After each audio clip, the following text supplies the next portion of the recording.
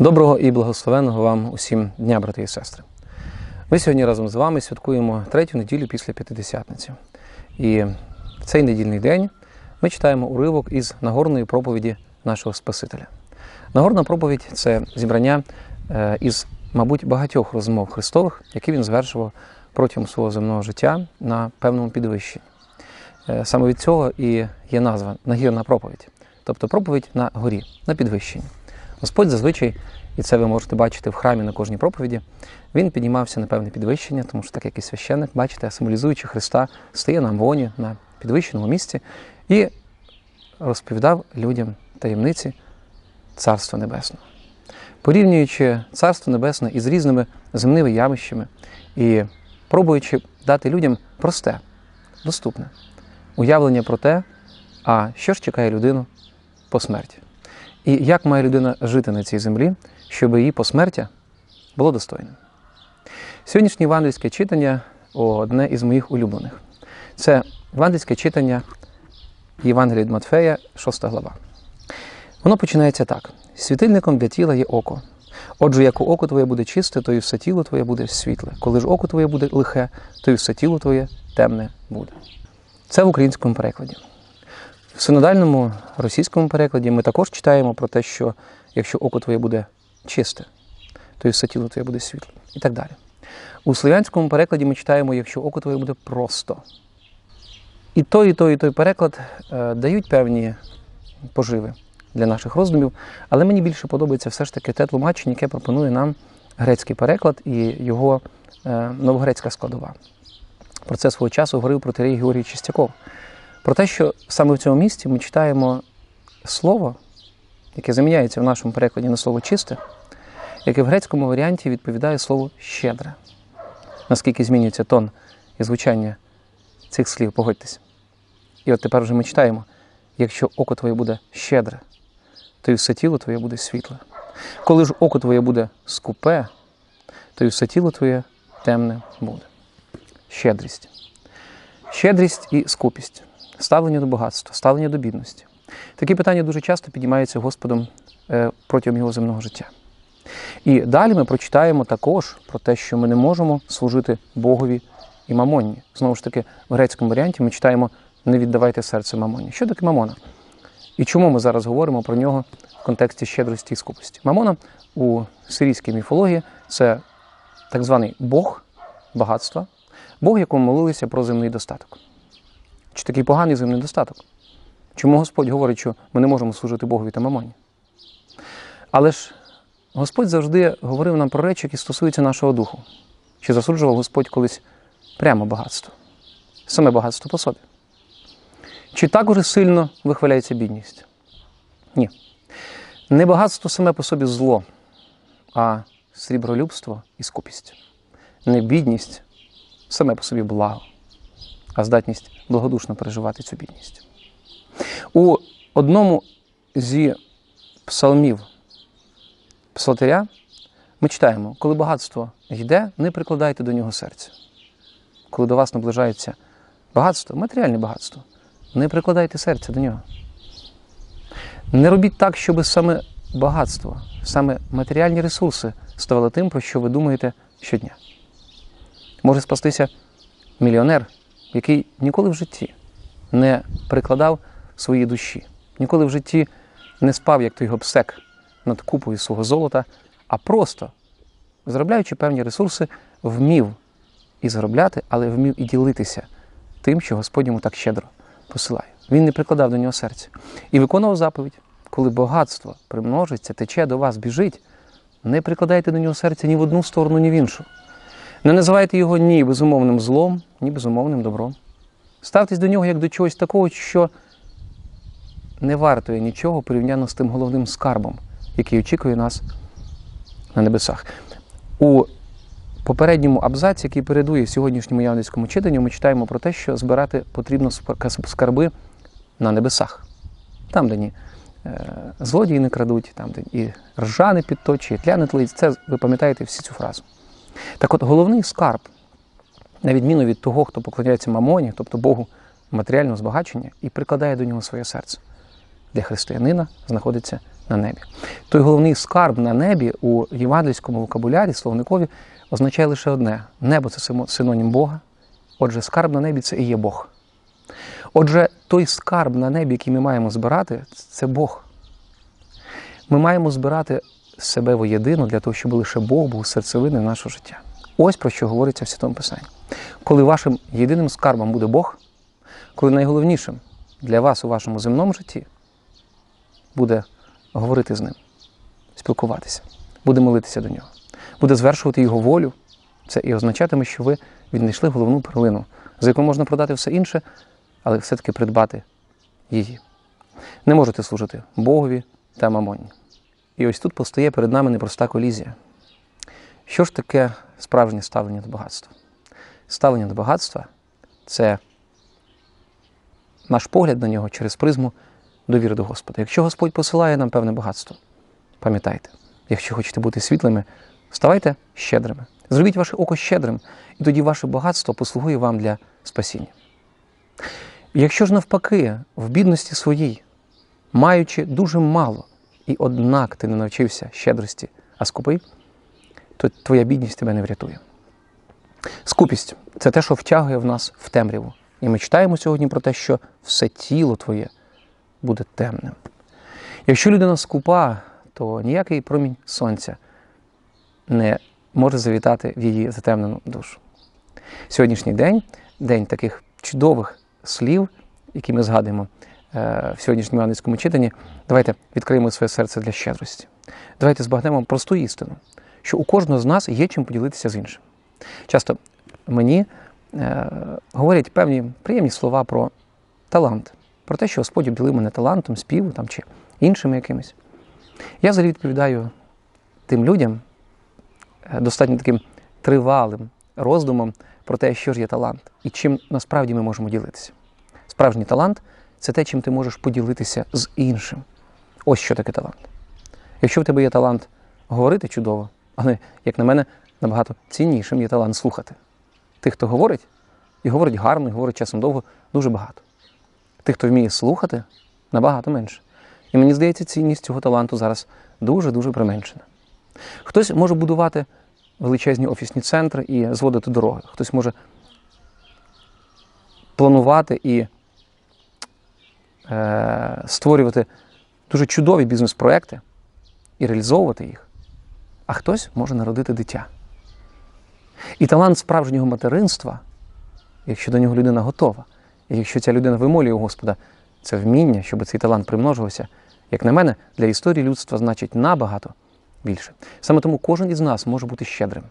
Немає такого, хто не міг би поділитися від того, що Господь так щедро дав йому.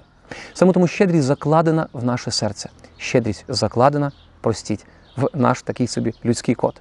Той код, який шифрував сам Господь Бог, і в цьому кодові є для кожного здатність поділитися.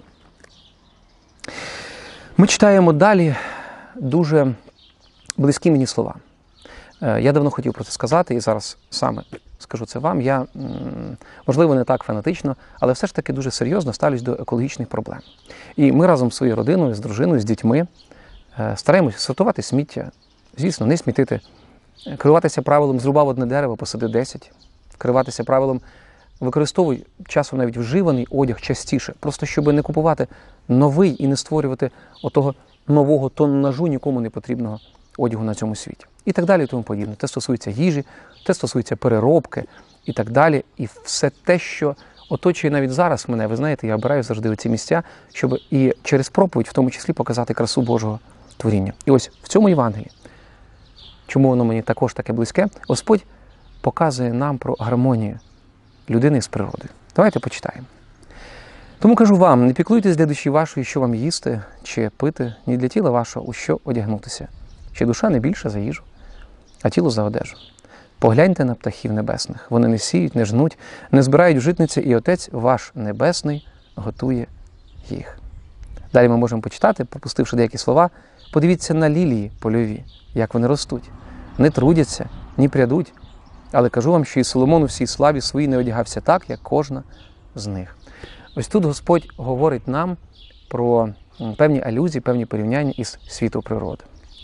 І насправді Господь часто звертається до таких звичайних, буденних, здавалось би, е, порівнянь із світу тварин або світу рослин. Чи вміємо ми жити так довірливо до Господа, як живуть птахи? Чи вміємо ми так само тягнутися до сонця, як тягнуться дерева, які завжди із будь-якої тіні знайдуть вихід для того, щоб їхні гілки побачили сонце? Ми часом так і залишаємося в тіні, і чахнемо, і коріння наше гине, і стебла наші опадають, тому що ми не тягнемось до сонця, а до сонця треба тягнутися. Треба йти до того сонця, яке ми називаємо Ісусом Христом, справжнє сонце нашого життя, яке і осіюває кожен наш крок. І ставлення до природи багато в чому показує наше розуміння того, ким ми є в цій системі, створеній Богом. Коли людина дбайливо ставиться до кожної травинки, до кожного створеного Богом живого життя, це показує, що вона шанує Божий труд.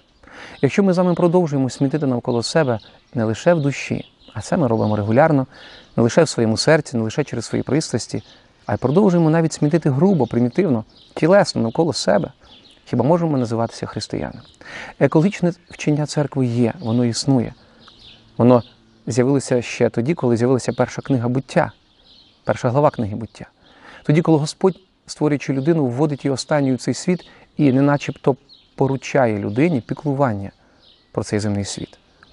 Так от, людина, яка не піклується про земний світ, про звичайну флору і фауну, здавалось би, така людина, як на мене, не може називатися християнином. Тому що людина повинна пройти цим життям, не начебто ніж в маслі, легенько, не наробивши зайвих борозн, не наробивши зайвого клопоту іншим і навіть природі.